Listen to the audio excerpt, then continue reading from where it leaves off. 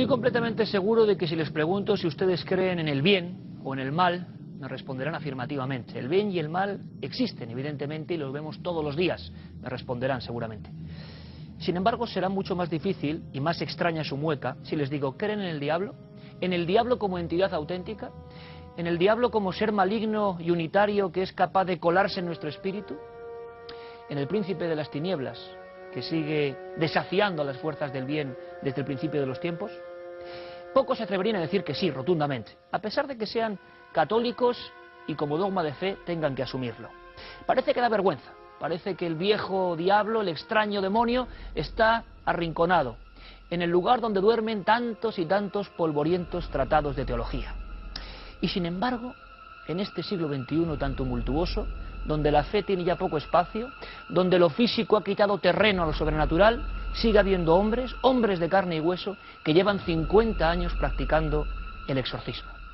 Aquí en Cuarto Milenio ha habido personas, eh, en nuestro país, que nos han hablado de ese extraño oficio de tinieblas. Pero nos quedaba un reto periodístico y nuestro equipo de Cuarto Milenio ha actuado en consecuencia. Teníamos que a esta mesa al exorcista más importante del mundo, al exorcista oficial de la diócesis también más importante de todo el orden cristiano, al exorcista de Roma y el Vaticano, Gabriel Amort. Nos va a contar cosas, imagino, sorprendentes. Muchas de ellas les harán discurrir y debatir, y en el fondo ese es nuestro objetivo periodístico, que lo que se cuente aquí tenga un reflejo, un eco en la sociedad. No queremos decir ni que sí, ni que no, ni cambiar las ideas de nadie. Solo queremos escuchar a este hombre de 82 años, un auténtico titán que se ha enfrentado cara a cara, como hizo Jesús de Nazaret hace tantos siglos, a lo oscuro, a lo extraño, a lo maléfico, o si lo prefieren, a ese extraño personaje, que en el fondo, siempre si pensamos en él profundamente, nos hará temblar. El demonio. Ya se acerca, ya lo presiento, ya está aquí Gabriel Amort, el exorcista del Vaticano. Hace 22 años, el cardenal Hugo Poretti, vicario de su santidad el Papa Juan Pablo II, recibió del pontífice el encargo más insólito que jamás, en todos los años de leales servicios, le había encomendado. Seleccionar a uno de los suyos para luchar contra el demonio. Poretti no tuvo dudas.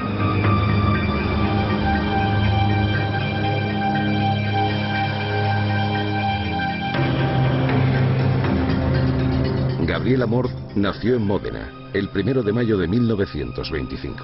Su profunda fe y sus ansias por hacer el bien le condujeron desde muy temprana edad a seguir la carrera eclesiástica. Licenciado en Derecho y miembro de la Orden de los Padres Paulistas, condujo su vida sacerdotal en paralelo a alguno de los máximos mandatarios de la Curia Vaticana, con los que entabló una sincera amistad.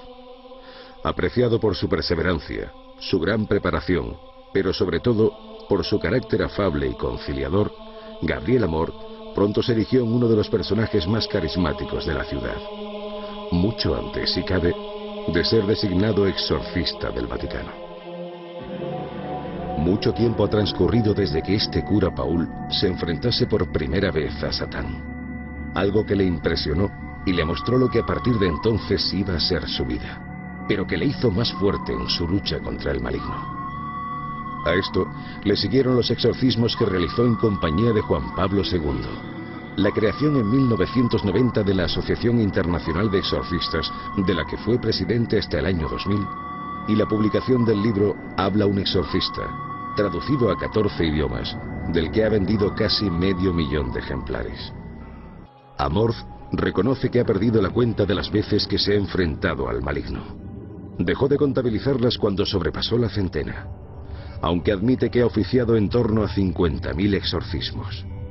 Endemoniados de todos los rincones del globo han sido llevados a Roma en busca de una última solución, de la última esperanza, en busca del mejor exorcista del mundo. Esta noche, ese hombre acude por primera vez en nuestro país a un plató de televisión. Esta noche, en cuarto milenio, el exorcista oficial del Vaticano, Gabriele Amor.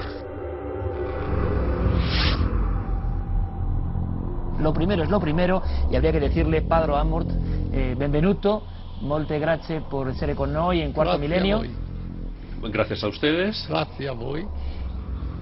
Padre Amort, ahí lo tenemos. Padre Amort sería, como habría que decirlo, ¿verdad, Paloma? Paloma Gómez Borrero, evidentemente todos ya la conocen, ha sido pieza clave para que se produzca este pequeño milagro. Bienvenida, Paloma. Muchas gracias a vosotros. Y gracias de verdad porque sé que has hecho todo tipo de gestiones para una cosa que no es muy habitual, tener eh, al exorcista oficial de la diócesis de Roma sentado en un plató de televisión. No es No habitual ni en España ni en Italia. No, la verdad es que Padre Amos no es que se prodiga en la televisión, no. Tiene tantísimo trabajo, desgraciadamente hay tantísima gente que recurre a él que no es fácil y ya ha dejado es dos días, día y medio, los trabajos que tiene, que son siempre con gente que está poseída por el demonio, que ha venido porque también yo creo que a Padre Amor eh, quería conocer este programa.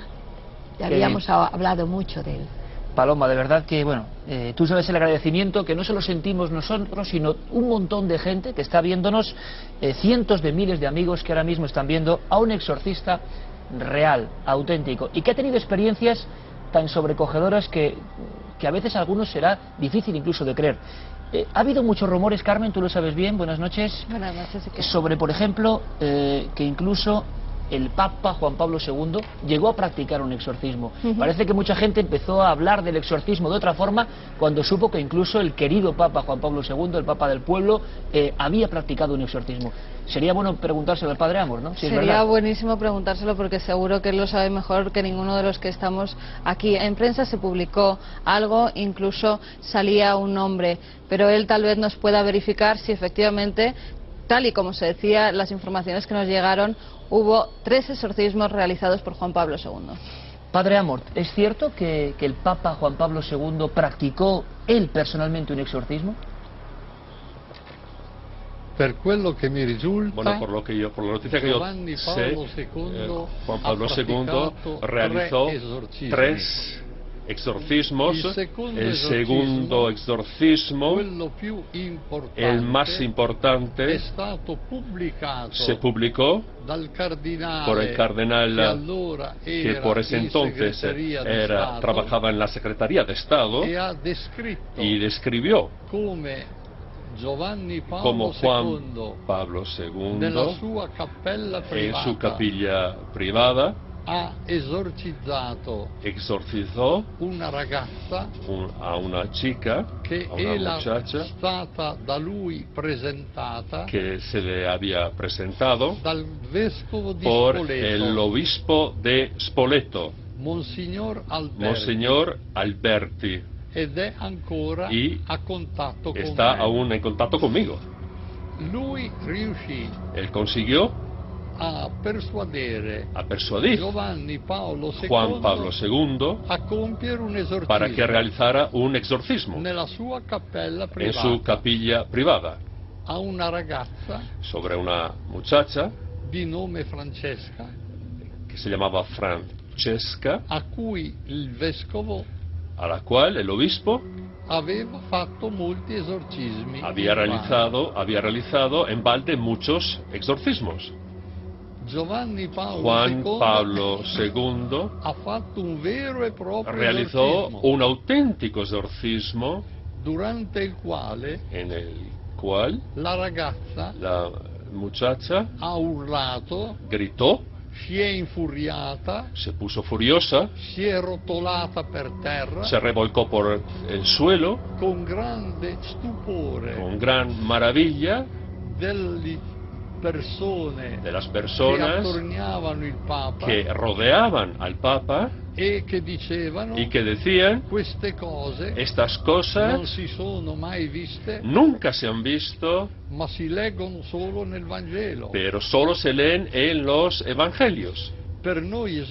Para nosotros eh, los exorcistas sono cose son cosas normales, normalísimas. normalissime. Il Papa, El Papa, fine al final del exorcismo, visto che la ragazza puesto que la muchacha no se, digamos, reincorporaba, ha detto dijo, io domani mañana celebrerò la messa per diré te. la misa por ti. A queste parole Cuando, il demonio si è cuando el demonio oyó estas palabras, e huyó.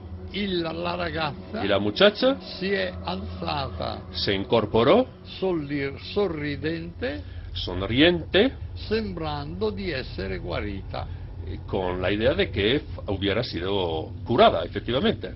In realtà En realidad, liberare una persona. para liberar a una persona da una de una posesión demoníaca mol- occorre molto tempo. hace falta mucho tiempo. e anche questa ragazza Y también esta muchacha, pur avendo avuto la esorcismo del Papa si bien había sido objeto del exorcismo del Papa, ha avuto ancora bisogno necesitó, di cinque anni di esorcismi necesitó pues unos exorcismos más durante cinco años per diventare completamente libera.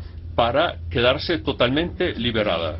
Poi si è sposata, Luego se casó, vive felice pues ahora tiene una vida feliz con su e marido con molti figli. y con muchos niños, hijos.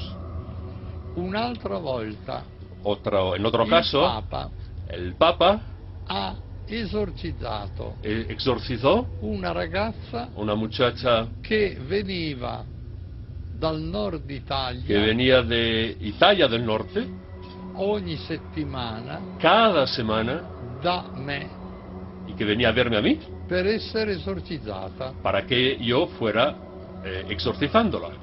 Io la esorcizzavo al Yo la pomeriggio, exorcizaba por la tarde, tutti i pomeriggi della settimana. todas las tardes de la semana.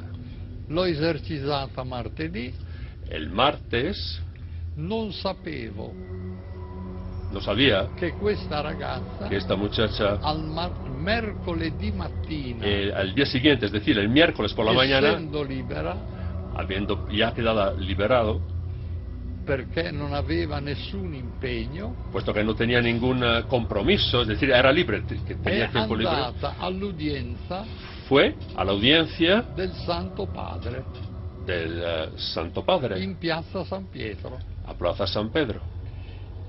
I, i gendarmi Los carabineros hanno visto vieron che questa ragazza que esta muchacha aveva un atteggiamento tenía strano. una actitud extraña, rara, L'hanno messa in prima fila. y la pusieron en la primera fila, línea.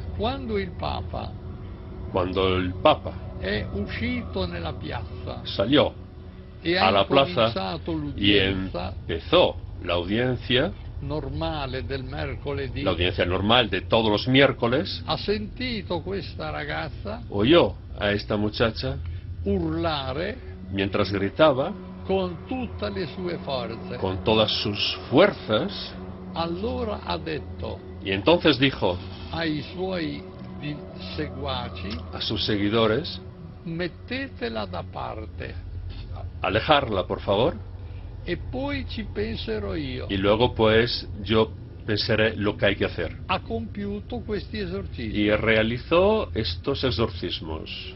Al pomeriggio Por la tarde, la ragazza esta è muchacha venuta da me pues vino a verme, come tutti i pomeriggi como hacía todas las tardes, e mi sono accorto y me di cuenta della influenza de la influencia che aveva avuto su di lei que había tenido sobre ella la benedizione la bendición di Giovanni Paolo de II. Juan Pablo II.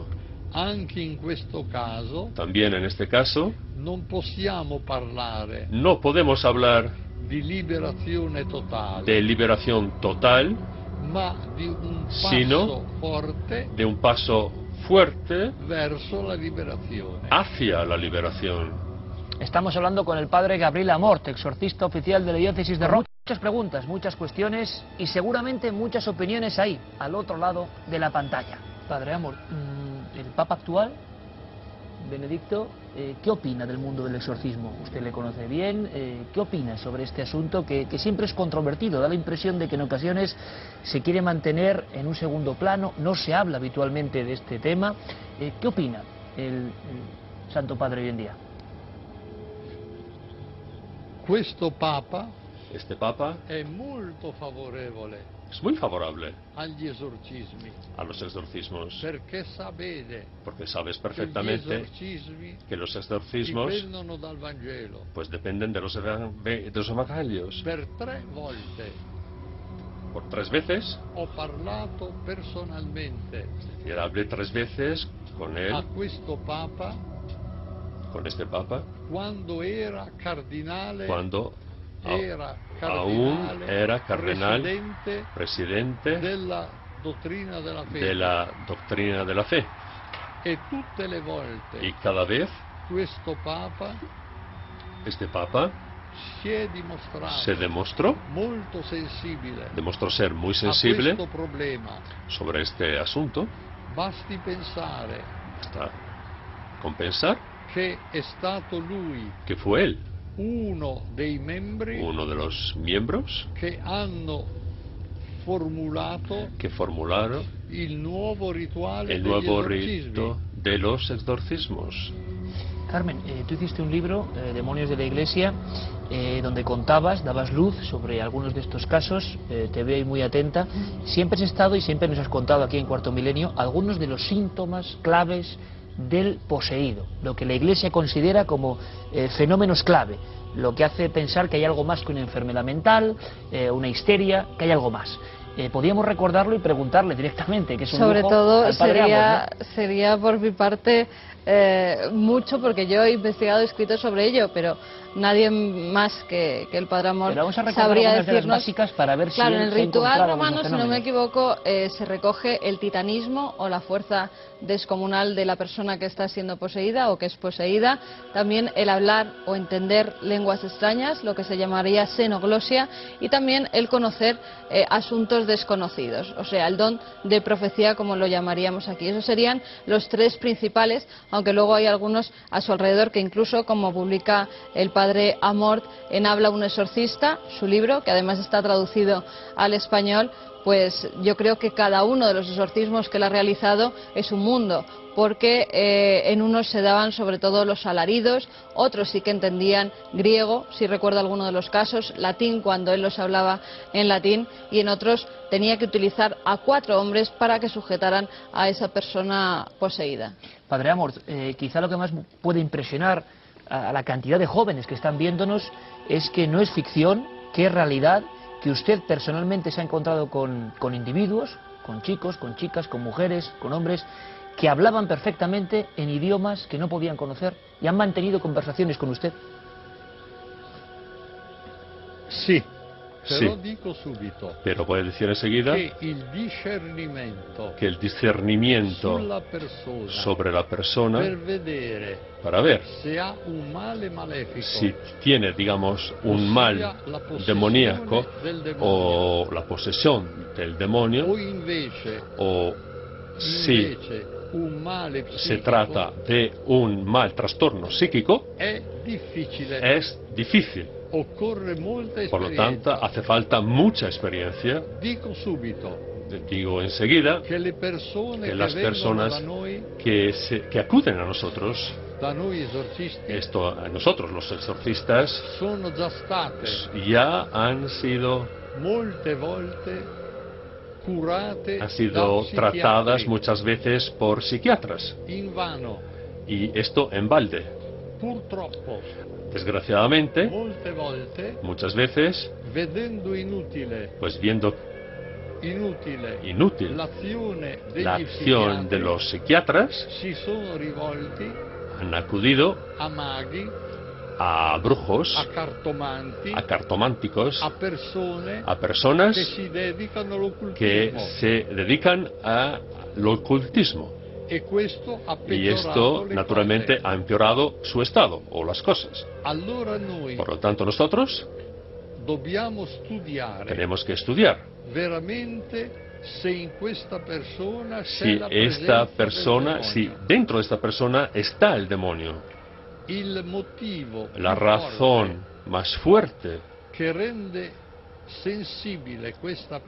que hace sensible esta presencia es la oposición a lo sagrado. Ossia queste Es decir, estas personas ya no rezan, messa, ya no van a la misa, escupen, escupen sobre las imágenes sagradas. Si son bendecidas, se ponen furiosas, furibundas, e y luego cometen muchas más cosas extrañas che non sono que no son, que no se pueden diagnosticar desde un punto de vista médico. Entonces, en estos casos, vamos a realizar los exorcismos e y tan solo a través del exorcismo podemos comprender con toda seguridad se una persona si una persona está poseída por el demonio. De hecho, a través del exorcismo, el demonio, que hace todo lo posible para esconderse, está obligado a manifestarse, está obligado a salir a la luz, al descubierto. Nosotros llegamos a hablar con él. E y él está obligado a contestar. Si bien muchas de sus respuestas pues son mentiras, pero otras muchas respuestas son son verdaderas por voluntad de Dios. Podría podría poner muchos ejemplos de lecciones che il demonio, que el demonio por voluntad divina ha dato a noi esorcisti nos ha dado a nosotros los exorcistas y a todos los sacerdotes así como a todos los teólogos afirmando cose cosas que la teología non conosceva. desconocía. Eh, Paloma. Sí, em, yo también quería preguntarle una cosa. Cuando está haciendo un exorcismo, yo he visto a Padre Amos una vez y es una lucha titánica. Tú has asistido a un exorcismo Sí, padre y, y con otro exorcismo en Vico Pisano, que fue un, se lo contaba Padre Amos. Y, y es una lucha titánica que casi deja pequeño a la película El Exorcista. Y incluso escupen, puta novelo Padre Amos, y, y le ves la lucha, la, pero lucha de verdad violenta de esa persona con el exorcista. Y, yo creo que el Padre Amos también nos puede incluso ha traído para demostrarlo cosas que, que han escupido esta gente. O sea, es realmente sobrecogedor ver el momento de la lucha a muerte entre la persona poseída y el exorcista que trata de quitarle ese, ese demonio de, que tiene dentro. Eh, ¿Podría explicarnos, padre, un poco qué, qué elementos nos ha traído y además esos elementos tan curiosos que tiene ahí en ese pequeño plato? Es cierto que el demonio a veces escupe, escupe objetos que son totalmente, absolutamente imposibles de explicar desde un punto de vista natural. Por ejemplo, aquí tengo un plato con muchos clavos escupidos por el demonio. Pues miren, por ejemplo, este clavo. Escupió, por ejemplo, cuchillas de afeitar. Escupió objetos de toda clase. Genere. Tutti questi oggetti Todos estos objetos se materializan en el momento in cui en que estos objetos salen de la boca Por lo tanto, nunca han dado, digamos, causado trastornos persona Dentro della persona. indemoniata. endemoniada. Por ejemplo, si una persona hubiese, se, hubiese sometido a una radiografía a una persona que hubiese escupido a estos clavos, no habría encontrado nada. De hecho, nunca están mojados con saliva, siempre están secos. E Y miren, desde un punto de vista humano, es verdaderamente inexplicable che una persona que una persona pueda escupir clavos de este tamaño. Y luego pues hay más objetos, Que muchos más, que el demonio pues echa. Son señales che la persona de que la persona ha recibido delle pues unos hechizos. O malefici. O maleficios. Stomaco. En el estómago, mangiando. O comiendo bevendo. O bebiendo. Cose, oggetti. Cosas o objetos. Maleficiati. que fueron eh, objeto de hechizo, hechizados. Ad esempio, Por ejemplo, è tipico es caso típico el caso del de, cioccolatino. del bombón che viene dato que se le da a una persona a una persona che non ha nessun dubbio que no tiene ninguna duda e dentro questo cioccolatino y dentro este bombón de è chocolate immesso se ha puesto del materiale malefico material maléfico che in genere que por lo general è sangue di mestruazione, es sangre de menstruación, polvere di ossa di morto, polvo de huesos de muerto, sangue di animali sangre de uccisi, animales matados, particolarmente especialmente polli, rospi, pollos, cani ranas, eh, perros, che vengono immessi in Che questo, in questo se cioccolatino. inyectan en este bombón de chocolate. Un altro caso molto comune otro caso bastante común viene offerta a una persona que se le ofrece a una persona tazzina di caffè. una taza de café. In cui è stato immesso en la que se ha metido un materiale un material maléfico. La persona La persona beve il caffè. pues toma el café. Senza temere nulla. Sin tener ningún e nada un y recibe de esta forma un mal maléfico. Che gli causa que le provocará daños, muchísimos daños, per cui molte volte por lo que muchas veces para poder liberarse de estos tendrá molti anni, serán necesarios muchos años, molti anni di muchos años de exorcismos. Perché Dio permette? ¿Y por qué Dios permite Il Signore que el Señor permette un Permite. un mal temporal in vista a la vista de, un bene eterno. de un bien eterno?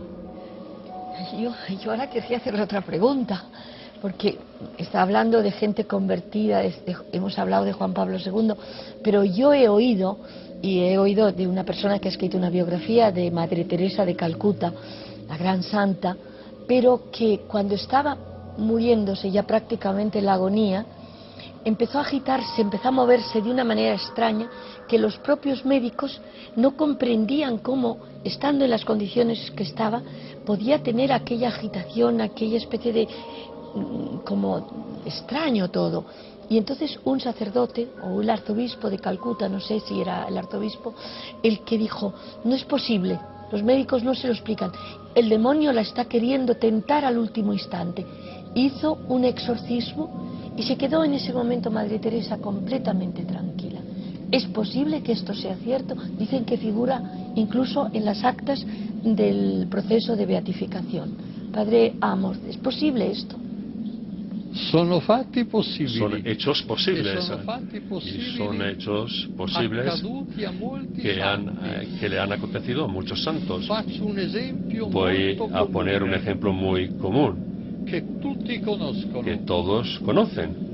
Padre Pio, Padre Pío, per tutta la vita, durante toda su vida, ogni giorno, cada día, è stato percosso dal demonio. Fue golpeado por el demonio, in maniera sanguinosa. de manera que le salía sangre. Una volta Una il vez demonio el demonio gli ha sbattuto la testa per terra eh, chocó su cabeza contra el suelo ed è stato y necessario fue necesario dargli cinque punti pues darle cinco puntos sull'arco sopraccigliare. en la, en, en la frente. Si capisce che il Por lo tanto, se entiende que el demonio se la prende soprattutto con le anime sante. se, digamos, eh, eh, tienta sobre todo a las almas santas e approfitta y se aprovecha molte volte muchas veces del momento del morte momento de la muerte in cui la persona en el que la persona è fisicamente più debole. Está físicamente más débil e y por più lo tanto soggetta estás más predispuesta a las sujeciones anche del demonio. también del demonio, a las tentaciones. demonio ne approfitta El demonio se aprovecha de per esto attaccarle para atacarlas e per y cercare para intentar di tentare l'ultimo colpo di, di coda. realizar el último golpe. Anche il mio grande maestro, También mi gran maestro, il padre padre morto in concetto di santità, que murió en olor de santidad, padre Candido padre Amantini, Cándido Amantini, passionista, pasionista, che ha per 40 anni que durante 40 años esercitato il ministero ministerio del, del exorcista. Alla Scala Santa di Roma. en la Scala Santa, así se llama, de Roma, negli ultimi en momenti della los últimos vita momentos de su vida, ha subito forti sufrió attacchi del grandes ataques por parte del demonio. E quelli che lo vedevano y las personas que le lo, veían ved- lo capivano lo entendían efectivamente, lo entendían por viso, la expresión del rostro, por lo tanto se entendía que estaba siendo atacado por el demonio, pero la Madonna la Virgen María y Jesucristo que siempre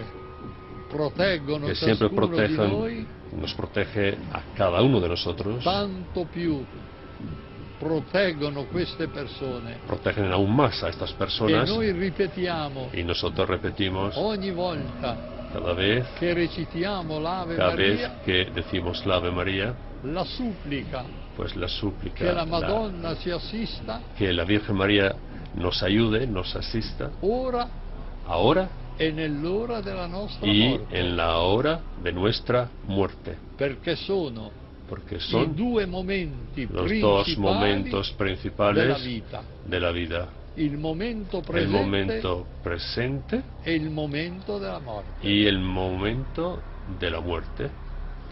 Padre Amort, algunos de los fenómenos que veíamos en esa película, que creo que además le gusta la película o le parece que refleja bien el mundo de- del exorcista, eh, hay cosas que nos parecen casi increíbles, ¿no? A, a nivel de la física. pegan, ¿verdad? Por ejemplo, levitar, eh, escupir sustancias que realmente suenan o parecen bastante eh, bueno, Repugnantes. repugnantes para el exorcista incluso. Dermografías o dibujos en la piel con mensajes satánicos. Eh, le repito la pregunta, ¿ficción o realidad? ¿Usted lo ha visto? Queste cose le ho viste Estas cosas sí que las he visto, non in quella forma no bajo esa forma teatral con cui vengono con la que se presentan nel film L'esorcista. en la película El Exorcista. Io difendo Yo defiendo la pellicola la película.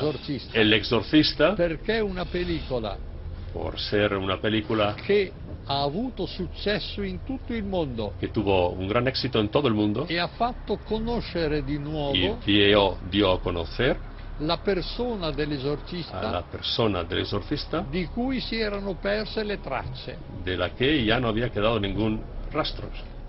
quello che quel film asserisce.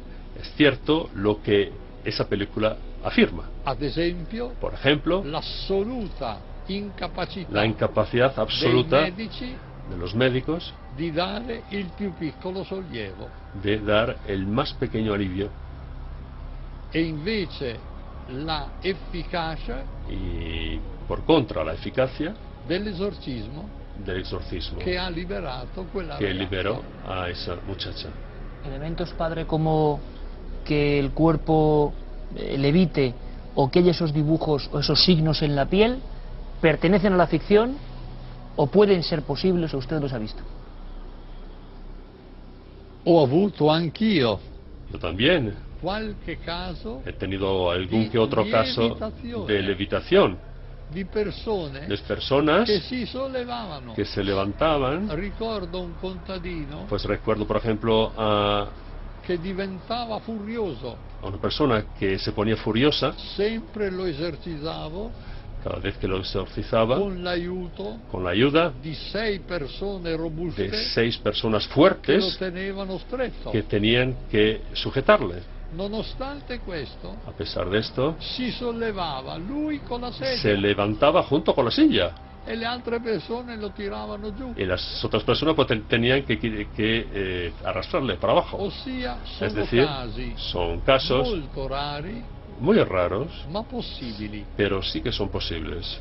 e Y en estos casos non c'è dubbio no cabe ninguna duda de que la fuerza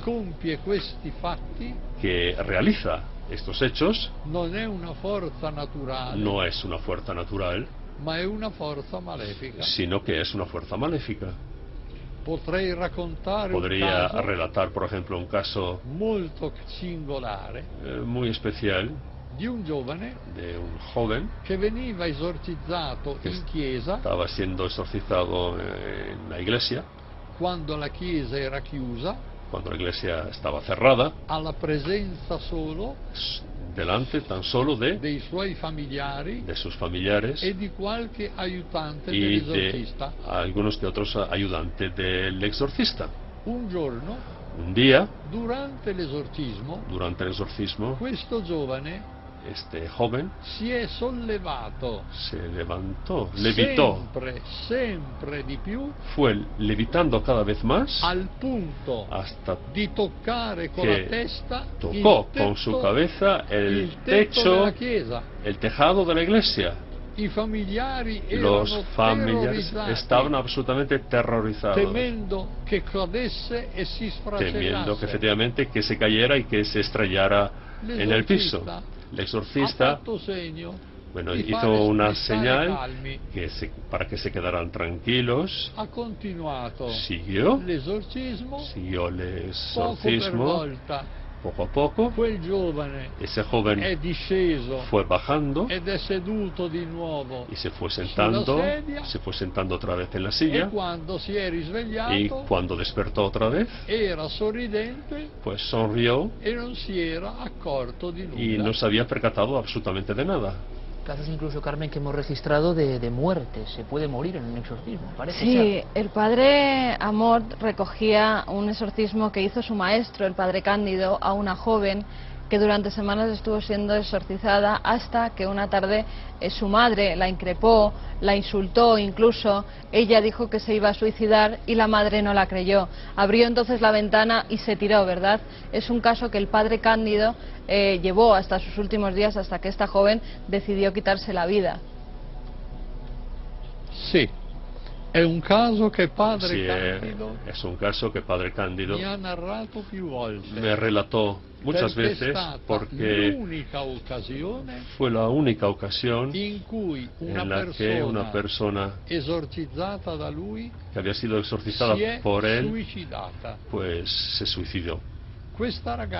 Esta muchacha era disperata estaba desesperada e aveva una madre y tenía una madre che era anche responsabile que también era responsable della sua possessione diabolica de su posesión demoníaca, che invece di que aiutarla en lugar de ayudarle cercava di tutto pues hacía todo perché stesse male. para que se sintiera mal.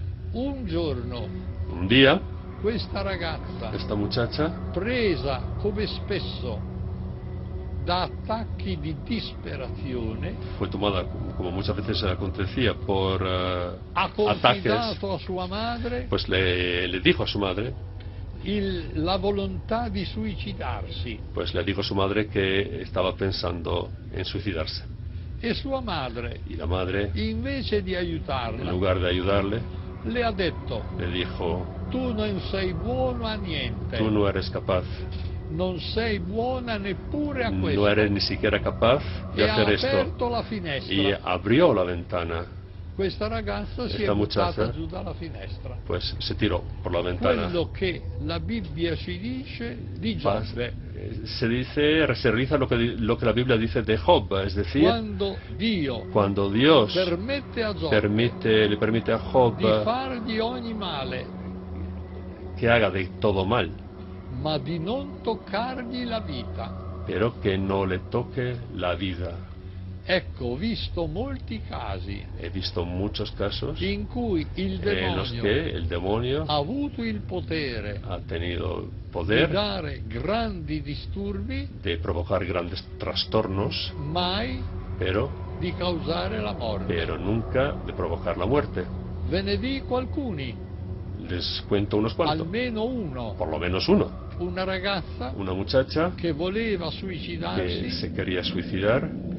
è andata fue, sulle camminando sulle rotaie del fue treno. andando por la vía del tren. una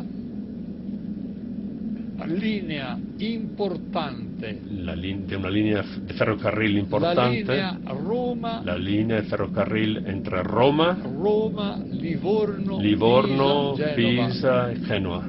Si è messa in una larga curva, Se puso en una curva amplia, le curve dei treni. como son las curvas, digamos, de, lo- de las líneas de ferrocarril, Aveva amplias. solo- Y solo tenía, teneva un sacco a pelo. solo tenía un saco de dormir. Si è messo il sacco a pelo, Se puso el saco si de dormir, sulle se rotaie tumbó sobre la vía de ferrocarril lì y se quedó ahí sei ore durante seis horas di notte.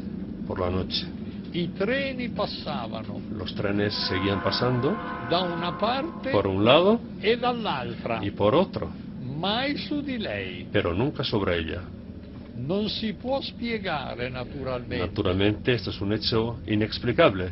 Padre Amort, y hablando de creencias, en el siglo XXI muchas personas afirman, y aquí respetamos todas las opiniones, que no creen en el diablo, pero creen en el mal. Y sin embargo, eh, leyendo sus escritos, a mí me ha impresionado personalmente mucho una cosa, que usted confirma y afirma rotundamente después de su larga experiencia, que eso del mal es muy abstracto y que el diablo existe como entidad personificada.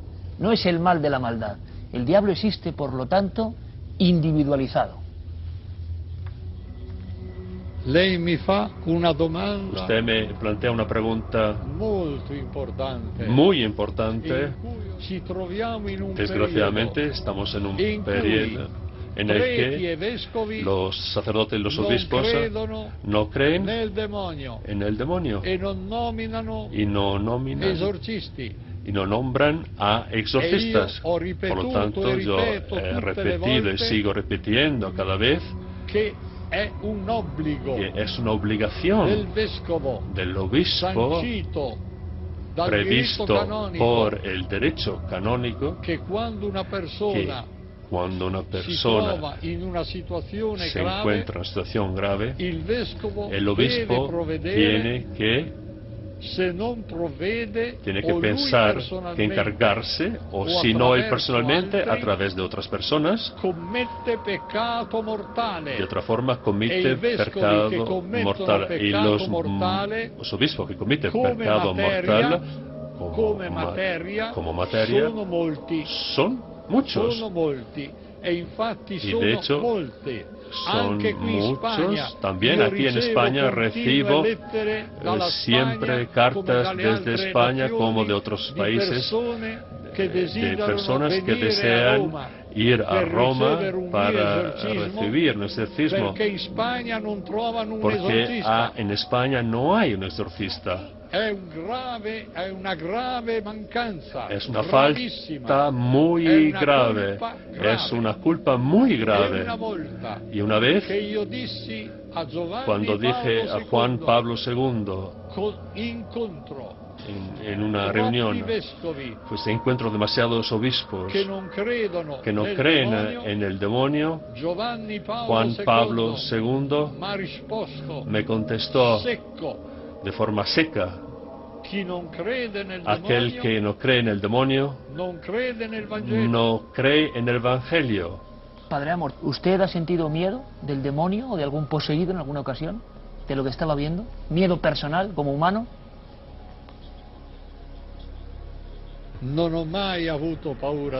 Nunca he tenido miedo perché del demonio, sono stato nominato porque cuando me nombraron mi exorcista, sono raccomandato.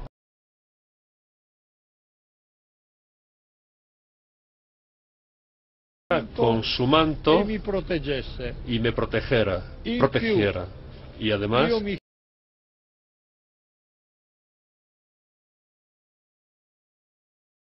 con su manto y me protegera, In protegiera. Y además io mi chiamo Gabriele yo me llamo e Gabriele y el arcángel Gabriele que me ayuda. ho grande devozione Tengo una devoción muy grande al mio angelo custode al ángel de la guarda che mi assiste que me ayuda. e molte volte Y muchas veces i demoni mi hanno los detto demonios me han dicho, a te non possiamo fare niente. Contigo no podemos, sinceramente, perché sei troppo porque protetto. estás demasiado protegido. e quando mi hanno fatto Y cuando me hicieron algo, delle minacce pues, me lanzaron unas amenazas, eh, pues eh, iré a verte bajo forma letto. de una serpiente bajo tu cama, te echaré de la cama, cose simili. O cosas por el estilo. io non ci ho mai dato ascolto. Nunca reparé en non esto mi è mai successo niente. y nunca me pasó nada. per cui amo dire Por lo tanto, me gusta decir che quando mi presento di fronte a un demonio que cuando me presento pues a un demonio, è il demonio che ha paura di me. es el demonio que me tiene miedo a mí. Non sono io che y no y no y no soy yo quien le tiene miedo a él. crucifijo que lo lleva siempre, Padre Amor, ¿qué, ¿qué función tiene cuando se pone delante del endemoniado? No, no, ¿eh? no. El crucifijo de- tiene una función fundamental porque es Cristo que derrotó a Satanás. Y es en el nombre de Cristo que derrotamos a Satanás.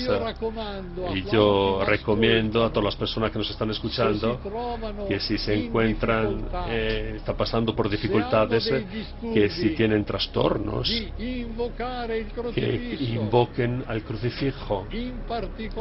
Sobre todo, que supliquen el Espíritu Santo scendere para que baje sobre ello il sangue di Cristo la sangre de Dios. La sangre de Dios tiene una influencia enorme. El demonio tiembla. Cuando se nombra eh, la sangre de e Dios y cuando se nombra la fuerza del Espíritu Santo que actúa a través de Jesucristo. ecco il mio crocifisso Aquí tienen mi crucifijo. Yo utilizo un crucifijo especial en el que, se, que contiene la medalla, la medalla de San Benedicto, que lleva frases contra el demonio. Por ejemplo, San Benedicto no era sacerdote. Y tampoco era exorcista, era un monje, pero era santo era santo. ed essendo santo y siendo santo, i demoni fuggivano los demonios huían, di fronte a lui. huían de él. Desde luego que tendríamos miles de preguntas. Están aquí Carmen y, y Paloma eh, con un silencio sepulcral como todo nuestro plató esta noche. No, no todos los días se pueden escuchar cosas como esta y con Yo esta solamente fuerza. quería hacerle Y una sí, yo última sé que se pregunta. quedan muchas preguntas sí, en el tintero. muchísimas. Sé que se ha enfrentado a demonios de la perfidia, de la mentira, Zabulón, Asmodeo, Satanás, Lucifer. ¿Cuál es el más fuerte de todos? ¿Cuál es el que más le ha costado sacar de los cuerpos de los poseídos? La sua domanda, Su, pregunta, si hay demoni demonios más fáciles o más difíciles eh, de vero expulsar, es cierto que hay demonios más fuertes, porque también los demonios son eh, siguen una jerarquía. El jefe de los demonios Satanás, y con el jefe, mientras que el jefe de los, los ángeles San Miguel. Luego hay demonios que tienen eh, poderes intermedios, sobre todo los demonios eh, nombrados por eh, la Biblia, Asmodeo, que es trovare, muy frecuente en la Biblia, como Beelzebub. Hay demonios que parece que tienen más fuerza, pero en realidad lo que, lo que sí cuenta, lo que hace que una persona pueda liberarse es la fe, es la fe. Nos quedamos con esas palabras de Gabriel Amor. Yo creo que bueno ha sido un pequeño gran lujo tener aquí eh, bueno pues a este representante de un oficio, de un arte, de una misión que provoca muchísimas preguntas, pero que hemos tenido el placer de poder hacérselas aquí en cuarto milenio. Nos hemos quedado muy sorprendidos, muy impresionados eh, y hay que agradecer primero, por supuesto, al Padre Amor. Mil gracias, Padre, por estar con nosotros, por concedernos unos minutos y por contarnos cosas que a mucha gente pueden ayudar. Sono io. Soy yo, soy yo que os soy deudor por haberme invitado. Soy a deudor a todos aquellos que me han escuchado. y si tengo que ser sincero, no terminaría nunca de hablar. Padre Amor, mille grazie, eh, caro amigo. Eh, Paloma Gómez Borrero, ¿qué decir de ella? Que siempre está ahí ayudándonos y en esta ocasión lo ha demostrado de forma, bueno, pues evidente, trayéndonos aquí al exorcista oficial de la diócesis de Roma, al hombre que ha vivido tantas cosas y que tendríamos cuatro o cinco programas, ¿verdad, Paloma? Para rellenar con él, desde luego. Carmen, eh, Un sueño de- cumplido, Sí, sí, sin duda alguna. Yo quiero agradecer a todo el equipo, a todo el equipo eh, de Cuarto Milenio que realmente se ha esforzado para que esto sea posible, contando con la ayuda inestimable eh, de Paloma Gómez Borrero, una vez más hay que decirlo, y también, eh, además de todo el equipo, a Rafaelo, que ha sido nuestro traductor y que ha estado ahí al pie del cañón haciendo que este mensaje que luego cada uno puede pensar lo que quiera, pero desde luego es un mensaje de primer nivel humano y periodístico. Hemos disfrutado todos, espero que extraigan sus conclusiones, pero nadie puede decirnos que El Exorcista era solo una película. Muchísimas gracias a todos, de verdad.